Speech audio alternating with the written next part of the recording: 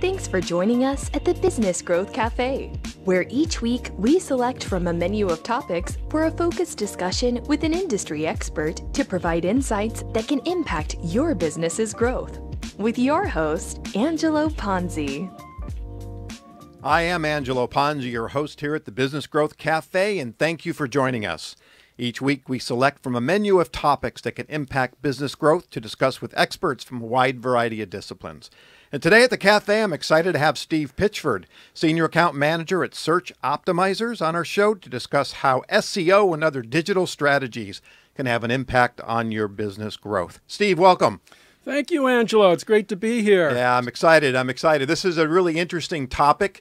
Um, you know, different times that I've talked to clients about this. Uh, sometimes they're enthusiastic, sometimes they are get a little skittish. So we're going to help sort all that out today as oh, yeah. we go forward.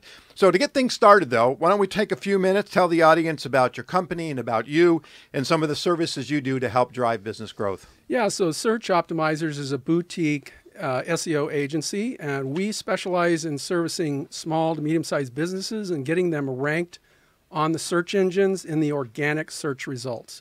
And our goal is to not only drive traffic, but also drive conversions that gets leads and sales into their funnel. Okay, fantastic. We're going to talk a lot about that as we go forward. So, one of the questions I, I always get when I'm talking to, to a customer, this is kind of a, a, a, definition question. I hear, you know, what's an SEM, what's an SEO, what's a PPC? So, let's uh, clarify for the audience the, the different acronyms, if you will, so they understand our conversation going forward. Yeah, great question. So, SEM to me is uh, really about paid advertising. So it's either Google Ads or it's Display Network or it could be on Facebook. Um, so it's search engine marketing. Yeah, that that's referred to as PPC, pay per click. That could also be referred to as pay per click. Okay. Right now, display ad is going to be more on impressions, and so it varies. Oh. But um, yeah, so pay per click would be part of that category. Okay, I, I understand. Okay. Uh, then you've got search engine optimization, which is really about optimizing your website um, for user experience, as well as spreading the news through through other channels so that you get links back to your website. So when you refer to other channels, you're talking about uh, social uh, posts or, or, blogging and and post on Facebook and Twitter and Instagram and all the other idioms of those kinds of uh, channels? Yeah, it's grown a lot. You know, writing articles, getting it posted on the HuffPost or other places um, are great ways to, to get signals coming back to your website that Google recognizes and gives you authority. Okay, so they're the behemoth. They're the ones we really need to please uh, when it comes to search. Now, you use the term backlink. So I'm, let's say I'm writing a blog and I post it on LinkedIn or I post it on my website. H- how does that get me links back that Google recognizes? So every website has something called domain authority. And so it's based on a lot of different signals that Google looks at. But um, the local shoe shiner is going to have a lot lower domain authority than, okay. let's say, the Wall Street Journal. So the stronger the domain authority of those that are linking into your website, in other words, they're, they have a link on your website driving back to your website traffic, the better that signal. And that's a ranking signal that Google looks at. Another, another in fact, uh, I think content would be the number one signal um, links would be the second, those links coming into your website, how strong they are. And the third would be content. So those are, I'm sorry, uh, RankBrain. So those are the top three. All right. So content being stuff I'm pushing out, for example, but the backlinks then are really if I I'm say I'm a guest blogger on on your website, and those links would link back to my website if that's what I'm understanding. Exactly. Okay. So uh, SEO you mentioned is is organic, and and it's like branding. It takes time to really take effect. And one of the things I find a lot of times is when we're dealing with small to medium sized business, and I, I, and forgive me, audience, for saying this, it's patience, right? It's about patience building the brand. It's about patience to have things work. So, what's a good time frame if I'm going to counsel one of my clients and say, look, at we're going to run some SEO, but you've got to give it X amount of time for it really start to, to generate what it's supposed to be doing? And I think that depends on each situation. It's how much content you're going to be generating over time. It's how aggressive you are with your on page optimization techniques. Um, and it's also about the competition and how strong they are, how entrenched they are in the marketplace. But I would say, generally speaking, uh, you should start to see ranking improvements in one to two months. Okay. Um, you should start to see page one positions in two to four months.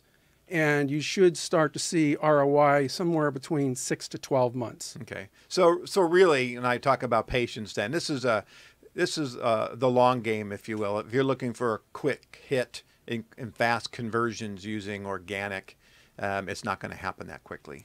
Exactly. Unless you've got, you know, unless it's a really unusual situation, I would say if you want a campaign, if you want quick results, then go with SEM to start. Okay.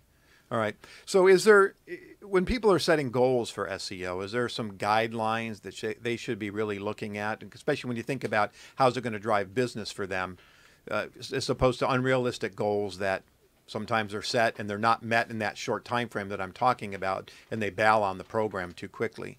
Exactly. And so uh, e commerce would be probably the easiest way to measure because your sales are right there on the website. Um, but most most of the websites that we're working with are lead generation sites. So if you can't track to sale, what do you measure? Um, we like to measure closest to sale, so conversions of those call to actions that are on your site would probably be the best thing to focus on. But prior to that, you've got rankings that are going to drive traffic, and then you've got your behavior metrics that you, you need to be focused on as well. But conversions would be um, the thing to measure, um, I would say, with the highest priority. And those are really those are set up in your Google Analytics, right? So whatever your measurements and your uh, uh, milestones of conversion mean to you, you're setting those goals up right within your program. Is that correct? Exactly. So the standard Google Analytics, you know, coming out of the box doesn't really, you know, know what your custom call to actions are. You might want to measure, for instance, if you have a video on your homepage, you want to might want to measure how many times that's played or uh, how many times people fill out a contact form or a e- you know email sign up. So those are those are actions and engagements that signal that a visitor is closer to you know engaging with you. Okay. So when I'm working on a, a, campaign for a client marketing campaign, we're always setting objectives, things we we can measure. And the same thing with SEO, we want to set those realistic objectives that that can be measured.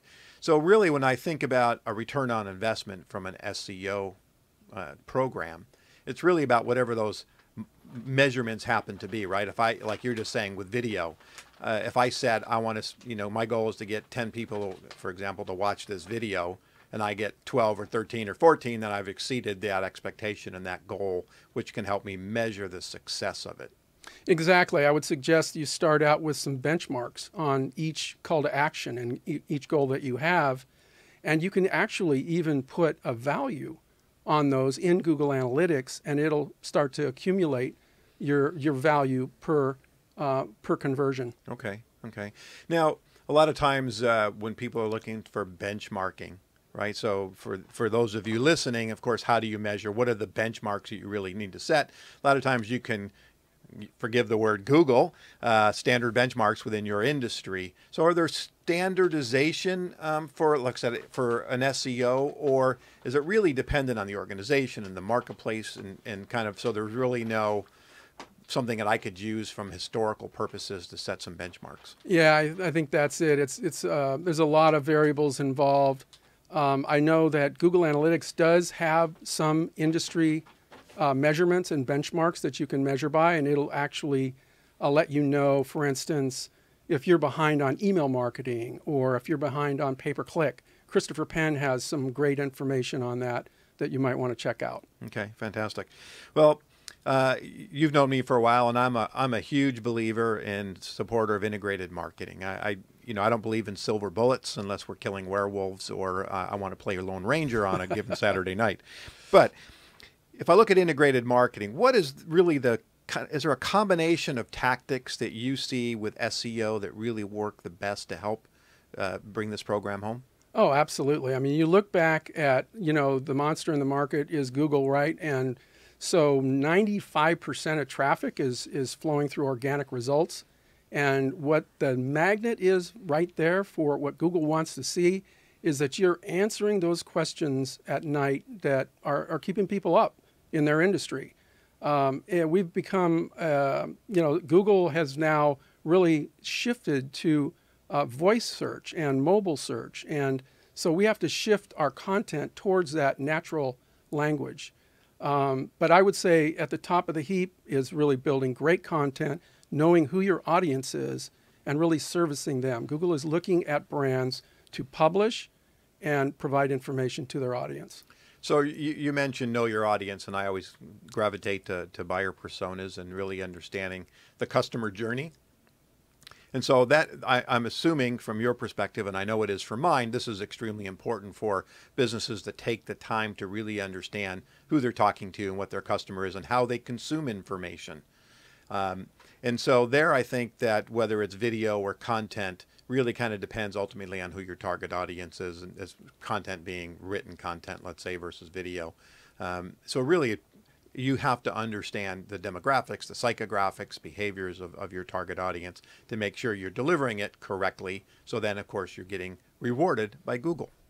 Absolutely, this is what we see as a growing uh, part of the marketing space is is you know customer experience, customer journey mapping, uh, really bringing um, your employees into that whole thing and um, you know really reshaping your culture around uh, the customer experience and really focusing on their needs. Okay, you mentioned voice search. Can you can you explain a little bit more about that? I mean, I know we've got all the uh, devices at home and Alexa and and whatever the other ones are now. There's a ton of them, Cortana and and those kinds of things. So how is voice playing a role in in search? Well, it's playing a huge role. Grow, uh, voice search is growing exponentially, and obviously we've we've had Siri. We've been able to do voice search with our phones for a while, but now the boxes are really starting to uh, grow that type of search. And what it's doing is it's elongating the queries. And so the boxes are talking to us like they're they're people. Right. And so we're talking back to them like they under, really understand us, you know. And so a lot of who, what, why, when, and where questions are being asked. And so these queries are getting a lot longer. And you might look like in a, a simple query about an industry um, and, and see what Google comes up with called an instant answer. It's right on the landing page of the search engine results page. And then it gives you a list of other questions that the audience is asking. And most are very simple. They can be answered in about four lines of copy. But that's the shift we see. It's more conversational copy and longer tail phrases that are being searched. So, so when you're saying that we need to answer the questions that are being asked, so really it's it's understanding what those questions are, so we can help make sure that the copy we're putting on our website and in our content are answering those questions. Exactly, and Google is actually telling us that in like after under the instant answer, they have something called people also ask. If you click one of those questions, you actually get, you know, four questions. You click another one, you get five, you get six. They'll give you tons of questions that your audience is asking about, and it's a great FAQ strategy. Yeah, that's that's actually really interesting because I mean, if you take that approach and understand those questions, that really is a indication of what kind of content you should be really generating on your your programs and your sites. It is, and uh, a lot of people will get fearful of instant answers. Well, they're not going to come to my website, not going to click the link. I found that to be not true. What happens is that you get a lot more traffic coming on those specific landing pages, and now all of a sudden you can start to measure with an organic landing page report um, what are your blog posts that are really, really winning, and is is that FAQ strategy working? Okay, wow, that's uh, that that's that's really interesting. Let's talk a little bit about paid. All right, so we're going to shift a little from SEO, but let's talk about PPC, and and you know it isn't a one or the other. It's, it seems to me that they should be a combination of, totally. of, programs going on. So, is there a certain weighting, any advice when it comes to PPC that you can give the audience that they, they really need to pay attention, especially if they've never done it before? Or those, and I've had some situations where we've launched PPC campaigns. Again, back to this word I'm using is patience, that, that didn't get a chance to really develop before the plug was pulled. So, what some guidance can you give when it comes to PPC campaigns? Yeah, PPC campaigns also need to be optimized. It's really hard to predict how uh, a particular ad is going to land and what kind of conversions they're going to get. So there's a lot of testing that goes on in the beginning of a PPC campaign. Um, if you're not really expert at it internally, you might want to think about hiring a, a consultant. Um, the consultants require a certain minimum budget typically on, on how much ad spend, and then they're going to charge for consulting fee on top of that. So you're probably going to need to have bare minimum a thousand dollar budget, most likely more like 2,500 to get a PPC uh, campaign going. Um, and um, then it's just a matter of you know building landing pages that match to ads very tightly. So some people like to drive PPC traffic to their homepage, and I would highly recommend that they not do that. That they would build ads that are very specific to the landing page, and the landing page has to have all those elements that are going to actually convert to um, to an action. Yeah, that's a great point. I, have seen too many times where, you know, we're recommending individual landing pages based on whatever the ad happens to be or the concept, and and folks wanted to send it back to the website. And to me, when to get back to the website, it kind of really gets lost, and we're not able to deliver a very specific message based on whatever that ad happened to have been. And if I'm hearing you correctly, you also believe that the landing pages for each individual campaign should be a, a, a definite uh, approach. Oh yeah, I mean, uh, building lots of different ads uh, that have matching uh, landing pages is a critical component to a successful PPC campaign. Okay, great. So you mentioned domain authority and things like that, and, and certainly the bigger companies are going to have bigger domain authorities. And so if I've got a small to medium sized business, I mean, what are what are some of the strategies that uh, they might use, our listeners might use to compete against maybe larger companies within the same vertical? Well, I think I go back to content and serving the audience, and what I would suggest is that as you, you know, try to determine what are you going to write about, do some keyword research, um, see what what are those queries that people are using to find your product or service? You can go to Google Ad Planner. There's some free tools out there. Neil Patel has one, Ubersuggest. And do that keyword research first.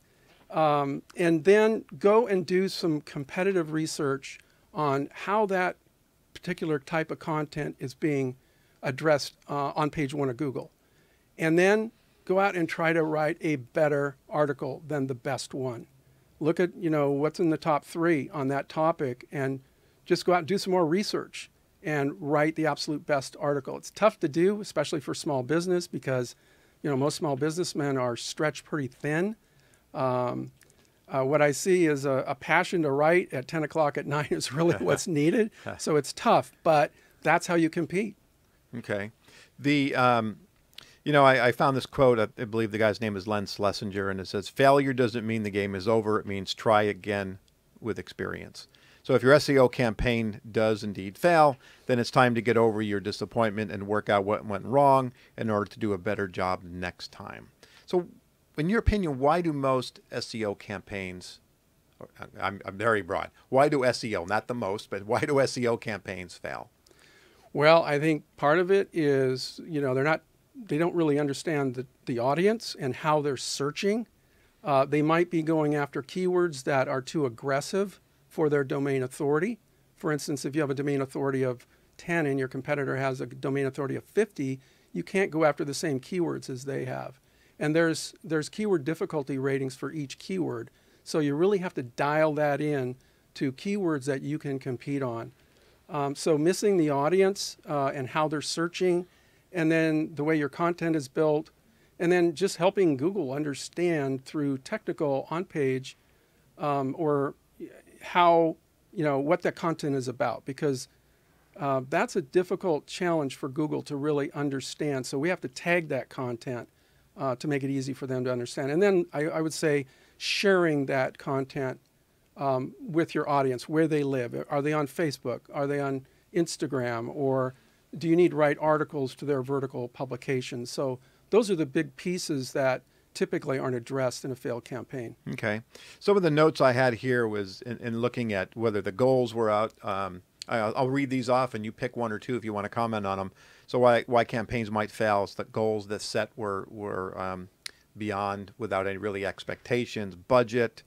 Uh, a set it and forget it mentality, which I think is probably pretty prevalent. Hey, I did this; it should be working, but it's not uh, no tracking or certainly not looking at their analytics, a bad website and speed, uh, responsiveness we've talked about before, uh, too narrow of a niche, not building links, content is performing. So is there is there any one or two of those I just read off that you would go, yeah, these are things I see all the time?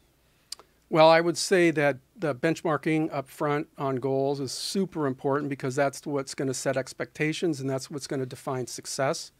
And because most businesses don't really look at their website as something that's going to generate goal conversions, it's more about them and pushing out their information about their product or service. It's kind of a mind shift that needs to take place up front so that we know how to measure success. I see that's that's probably the biggest one I see. Um, others, I think mobile friendliness is pretty common today. After Mobilegeddon a couple of years ago, you know that that became pretty well known that you have to be mobile friendly. But I think pretty pervasively, I see today we still don't have fast mobile sites, and I see really high bounce rates on sites that don't load quickly, three seconds or less. That's what the expectation is um, so uh, I, I, think it's tough for web designers to really get all the technical aspects required to build a fast mobile site. That's really kind of a specialty in uh, web design circles that I've seen. So I think that's another thing. Having a fast mobile site is super critical today. Okay. Um, I think we're we're probably about three three minutes or so left. Um, I can't believe it's uh, that much time has gone by already. So let me ask. Uh, I got a few more questions. So give our give our listeners some advice. What are three or five tips they can, you know, put into effect if this is their first time thinking about SEO, or maybe they're already in it and they haven't been very successful? What are some guidelines or tips you can give the audience about setting up an effective program? You know, I really think it starts with content. Um, you, you really need to know your audience and write to, to what's important to them. And that, that uh, FAQ strategy I mentioned, I think, is great for small business because they lack the time to write long articles. They have to write it at night.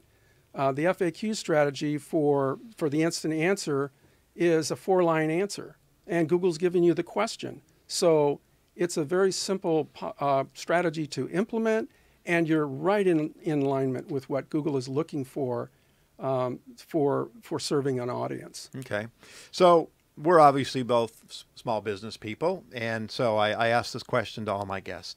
So when you think about growing your business, you know what keeps you up at night? What are some of those obstacles and barriers? But what keeps you up at night thinking about your business?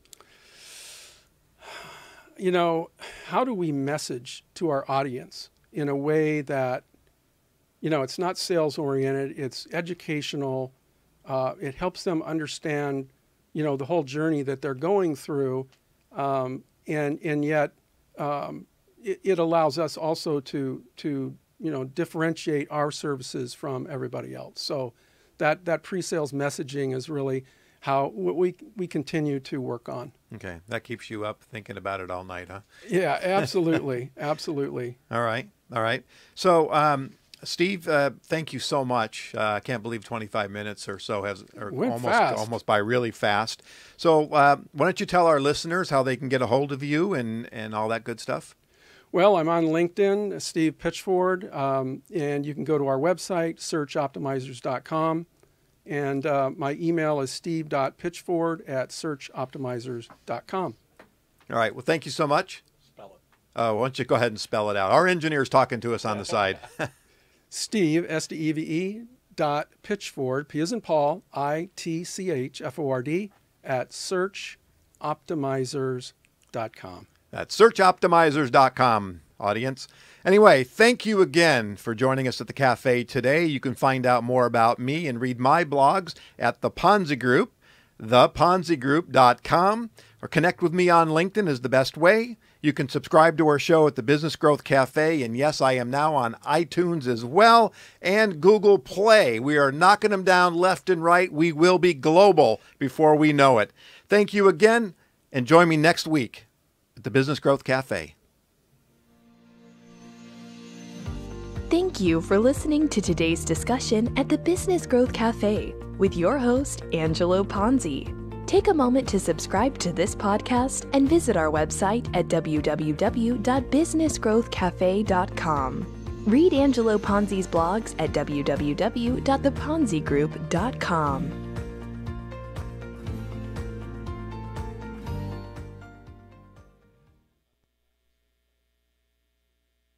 Are you ready to tap into the power of social media to promote your business? It's easy to get social with Turn Up the Volume, the award winning social media marketing professionals who know how